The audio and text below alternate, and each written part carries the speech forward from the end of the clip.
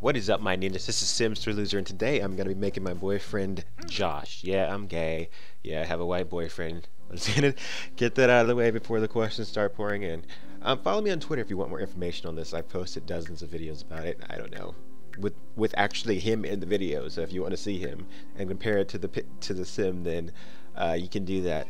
But yeah, this sim actually did turn out actually looking like him, which shocked me because I did not think that I was going to be able to get him. But it looks so much like him, and I showed it to him. He he doesn't think it looks like him, but it, it totally looks like him. I'm like, I'm, I'm I told him, I look at your face every day, so I know what you look like. So I'm better to judge what you look like than you actually are. Um, here I was just like adjusting some minute features of his face, trying to trying to make trying to trying to make the lip I, I, I like didn't go into super detail on it because like I was clicking on the presets and the presets fit so well that I, I thought I didn't want to change it because I didn't want to mess it up. And I like right right at this point right here I was like wow this really looks like him. I, I have to show this to him.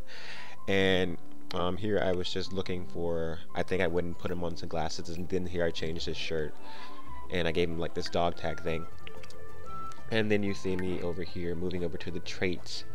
And um, I gave him the goofball trait because he is a freaking goofball all the times. Oh I gave him the aspiration to want a successful career because that's something that he always talks about he wants to be successful in his career or whatever and I also gave him the geek because he's a total geek we both are we're super nerdy and the last one I gave him was Slob because he does not know how to keep anything clean.